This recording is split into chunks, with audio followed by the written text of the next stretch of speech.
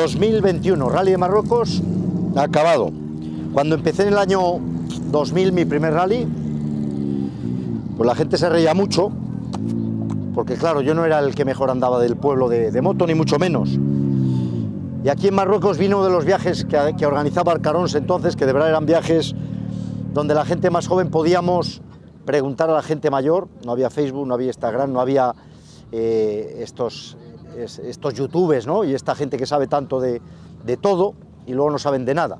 Eh, por favor, si queréis, tenéis ilusión por correr un rally, prepararlo bien. Hay muchos sitios de información reales. ¿eh? De las redes sociales, olvidaros de muchas cosas, porque hay un montón de gente aquí que tiene mucha experiencia, que cualquiera de los que estamos aquí la vamos a compartir con vosotros. En mi primer viaje me llamaban el Tuercemanillares, mira qué casualidad, llevo 21 años corriendo rallies. Y este ha sido uno de los más estresantes para mí. Hay dos amigos en el hospital. Y, y no le podéis perder el respeto a esto. Esto no es una broma. La gente que habéis protestado porque David Casterá y Aso os ha obligado a venir aquí, los que estáis aquí sabéis ya de qué están hablando. Esto no es una broma. La gente se muere aquí, la gente se mata. Hay un agujero aquí con vuestro nombre. ¿Quién puñetas os pensáis que sois vosotros? Esto es peligroso. Esto no es un juego de niños. Y últimamente le estamos perdiendo el respeto a los rallies. Para venir aquí, esto es primera división, hay que estar preparado, mentalmente, físicamente, de moto también. Y sobre todo, lo que hoy últimamente no tenemos mucha gente es humildad porque al desierto no lo puedes vencer, te puedes aliar con él si llevas muchos años. ¿eh? Y hay mucha gente aquí, Antonio Ramos, eh, Pepe Palomares, ahora yo mismo, porque me toca, que os ayudaremos a prepararlo, de verdad. ¿Eh? Si tenéis ilusión por correr un rally, hacerlo, esto es una pasada. Pero acordaros de lo que os digo, no le perdáis el respeto, no le perdáis el respeto. Esto no es un juego. Hay tres amigos del club, por primera vez, ¿eh? porque siempre me van a gloriar de ser un, club de, gente acabadora, hay tres personas que no han podido acabar este rally. ¿eh? Y hay dos que están en el hospital. Afortunadamente están fuera de peligro, pero cuando ves a un amigo tuyo ahí en el suelo, ¿eh? cuando ves en el, en el suelo, es que no se puede explicar, ¿no? Y va por ellos, va por Paco, va por Herbert, va por toda la gente del club, las que nos seguís, los que no nos seguís, los que nos odiáis también, me da igual. Si queréis venir aquí de verdad y queréis correr un Dakar, hacerlo, pero prepararlo bien. Y si ASOS dice que tenéis que venir aquí, probablemente se queden escasos. Se queden escasos. No solamente con esto, no tenéis ni puta idea de lo que es un Dakar, ni dónde vais. El primer Dakar es lo más fuerte que vais a hacer. Y la seguridad de las personas. Han muerto muchos amigos nuestros. Y con eso no os quiero quitar las ganas. Pero os quiero advertir ¿eh? que en casa quedan nuestras familias, quedan nuestras mujeres, quedan nuestros amigos. ¿eh? Y esto no es una broma. No hace falta ser el campeón del pueblo. Habéis muchos que tenéis mucha experiencia, que quedáis muy bien las carreras de pueblo. Pero aquí os vais a hacer daño. Hay un agujero con vuestro nombre, lo mismo que el mío. Yo llevo años librándolo. Os deseo que si venís aquí, libréis vosotros ese agujero. ¿eh? Y recordad, prepararlo bien, con toda la ilusión del mundo, todo el mundo tiene derecho a estar aquí. Aquí no se mide a la gente por el gas que da, lo mismo que en nuestro club. La evaluación de David Castrea y de la ASO para la Plaza del Dakar no iba a ser y no va a ser nunca quién es el más rápido, sino quién es el más fuerte, quién navega, quién sabe eh, sobreponerse, quién incluso es más humilde en un momento dado, si abandonas por un motivo justificado, eh, todo esto se ve desde unas pantallas de ordenador, si paras, hay una chica ahí italiana que no ha parado nadie, ha parado un chico francés con un cuadillo y no ha parado nadie a ayudarle. Eh, es importante, ¿no? Es importante la clasificación para vosotros, no vengáis aquí si de verdad queréis disfrutar de los rallies, eh, sentir lo que hay mucha gente que sentimos aquí, esto es el cielo. Pero si venís a demostrar algo al desierto, el desierto os va a vencer. Sí, a vosotros, que sois tan rápidos. Sí, a vosotros que ganéis las carreras en el pueblo. Sí, os va a vencer el desierto. ¿Eh? Así que perdonar esta chapa, pero creo que debéis de saberlo. El que quiere ir al Dakar debe de prepararse bien. Y aquí es obligatorio venir te lo obligue la organización o no te lo obliga. Es necesario venir aquí. Lo mismo que debéis de venir a un Marruecos Estren o a cualquier evento que se prepare que sea un paso más. La progresividad en vuestra preparación. Nadie se le ocurre ir a un gimnasio ¿eh? a levantar 300 kilos de sentadillas sin haber pasado por los 50, 40, 60. Es lo mismo, es lo mismo, es muy sencillo.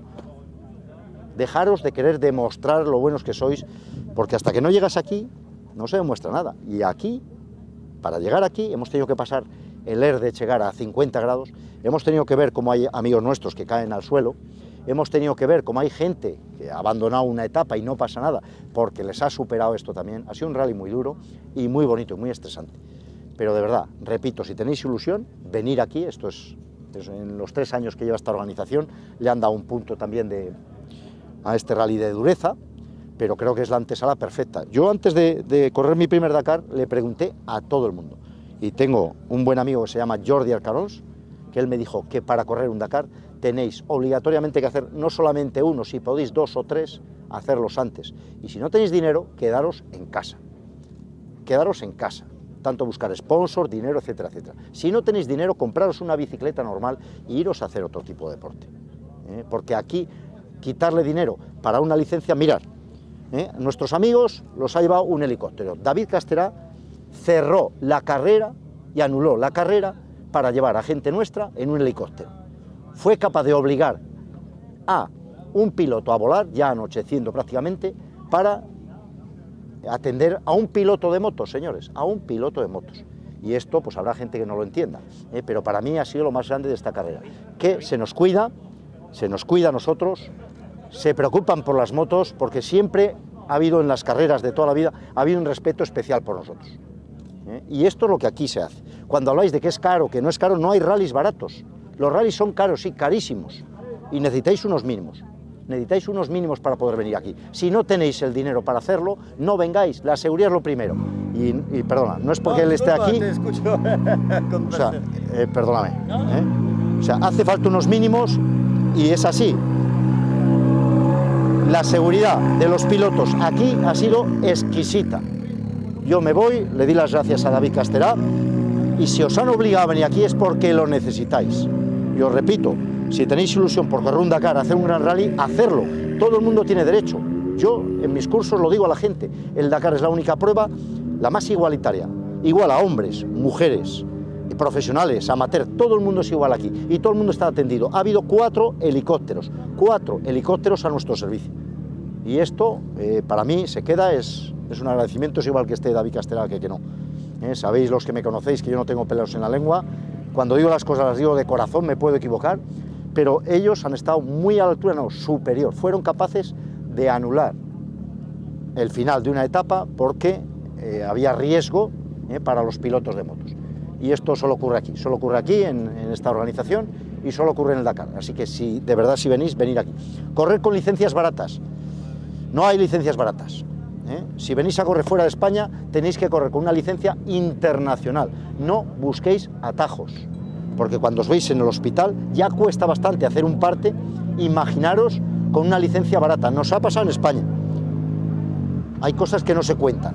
Cuando tenéis un accidente, ¿eh? la licencia es un seguro. Si compráis un seguro barato de día en una carrera regional, si os pasa algo tenéis un problema, por favor. Hay cosas mínimas que para correr hacen falta. Y luego, sobre todo darle las gracias a mi mujer, porque estoy aquí gracias a ella, ella está volando a FES, toda nuestra gente del Marruecos Estren están ahora en FES, vamos a continuar en Marruecos después de acabar esta semana, y bueno, ya veremos a ver, cuando bajamos de la moto es cuando nos duele todo, pero ahora mismo tengo muchísimas ganas de moto, tengo ganas de, de terminar el rally de Marruecos que ya lo hemos acabado, y tengo muchas ganas de esperar también a la chica italiana que lo ha pasado mal, ha sido muy valiente, no se ha parado nadie con ella, ha, habido un piloto francés que le arrancó la moto, yo he parado pero estaba fundido y yo creo que va a llegar y la verdad que hay, hay detalles aquí que no están las cámaras del mundo amateur, que es el que nosotros representamos un poco, eh, cosas muy bonitas que ocurren aquí. No solo es el dinero, no solo es la fama, hay muchas cosas aquí que merecen la pena. Os invito a que preparéis un gran rally. Esto, bueno, que sepáis que no me lo he llegado a ganar del todo porque no he, no he hecho todas las etapas, ¿eh? hay decisiones personales, para mí cuentan mucho más las personas que el tener una chapa de estas, que sí que es importante, pero voy a volver a hacer todas las etapas y las voy a hacer, me la voy a ganar, ¿eh? porque hay veces que tenéis que decidir ahí adentro también, si está vuestra clasificación ¿eh? o si veis un piloto en un problema, si vais a ser capaces de parar. Si sois capaces de parar, para mí tenéis mi respeto. Si sois capaces de mirar para otro lado, eh, no vengáis a, mi club, por favor, a mi club no vengáis, iros a otros sitios donde os recibirán con vuestro dinero muy, muy amablemente. ¿eh? Y no tengo más que deciros, sobre todo, luego hay mucha gente aquí que nos echa una mano, porque los pilotos hemos terminado, somos la leche, pero hay un grupo de gente que han estado currando aquí todas las noches para que nuestros pilotos puedan llegar aquí. Y cuando ha habido un problema han estado pendientes, con el teléfono, con la gasolina, con las motos. Las motos, no, el embrague no está roto, señores. Han roto dos embragues porque aquí se, el estrés es superior para las máquinas y para las personas. Y sobre todo gracias a los mecánicos, a todo este elenco de gente que hay aquí ayudando para que esto funcione, porque si no sería imposible. Una buena, una, una buena frase siempre en las salidas, en las llegadas, en los refueling, la, los doctores preocupados de que nos hidratemos, de que no nos falte agua, ha habido una preocupación máxima por nosotros. Y yo, pues, ¿qué queréis? Mientras, como dice, como dice nuestro amigo Melchor, mientras mi pierna me dé para montar aquí, yo voy a seguir aquí. Gracias, chavales, y preparar bien las cosas, que viene el Dakar ya, ¿eh? y tenemos muy poco tiempo. Saludos a todos. Chao.